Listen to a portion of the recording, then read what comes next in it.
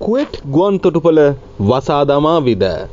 මේ වන විට කුවට් රාජ්‍ය තුළ සුවිශේෂි කතා බහක් ඇතිව තිබුණා. ඒ අතිරේක තවත් ගුවන් තොටුපලක් කුවට් රාජ්‍යයට අවශ්‍යයි කියන කාරණය. කෙසේ වෙතත් මේ පිළිබඳ දිගින් දිගටම සාකච්ඡා කෙරුණා. ඒ අනුව ඒ කුවේට් රාජ්‍යයට අදාළ වුණු ප්‍රධානින් ඒකාබද්ධව සාකච්ඡා කෙරුණා. ඒ අනුව ඔවුන් දැන් තීරණයකට ඇවිත් තිබෙනවා කුවේට් රාජ්‍යයට තවත් ජාත්‍යන්තර ගුවන්තොටුපළක් අවශ්‍ය නොවන බව. ඉතින් ලංකාවේ මේ පුංචි රටේ හම්බන්තොටත් ගුවන්තොටුපළවල් හදලා අන්තිමේදී ඒවා නිකම්ම නිකම් මහා ධනස්කන්ධයක් විනාශ කරපු විකාර රූපී වැඩ වුණා වගේ නෙමේ කුවේට් රාජ්‍යය. මෙච්චර දියුණු රටක ඉතාමත් හොඳින් සල්ලි තියෙන රටක් වුණත් ඔවුන් කුවේට් රාජ්‍යයට තවත් ගුවන් තොටුපළක් අවශ්‍ය නැති බව තීරණය කර තිබෙනවා. මේක දිගින් දිගටම සාකච්ඡා වුණා. දෙදස් විසි දෙකේ ජනවාරි දහවෙනිදා ඔවුන් රටේ උතුරු කොටසට වෙන්නට භාර කරනවා වෙනමම භූමියක් නව ගුවන්තොටුපලක් සකස් කරන්නට.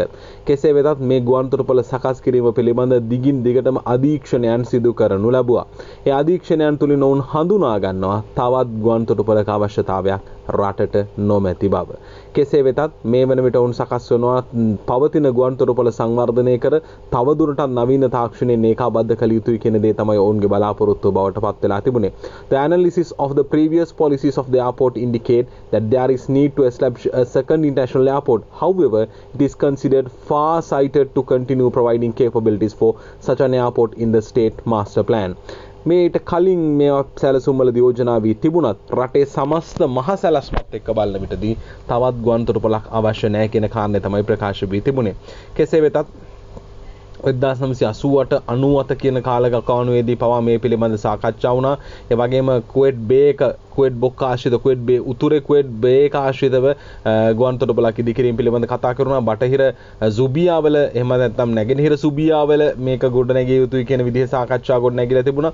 කෙසේ වෙතත් මේ තවත් නිව්පෝට් එකක් අවශ්‍යයි. බෝබියන් අයිලන්ඩ් සම්බන්ධ කරමින් දූපත් සම්බන්ධ කරමින් එක්ස්පෝර්ට් ඉම්පෝර්ට් පහසුකම් සලසාලීම සඳහා ගුවන්තොටුපළක් අවශ්‍යයි කියන කාරණය පිළිබඳ සාකච්ඡා වෙලා තිබුණා. හැබැයි මේ වෙද්දී municipal council decision issued on January 10 2022 regarding the allocation location site in the north of the country.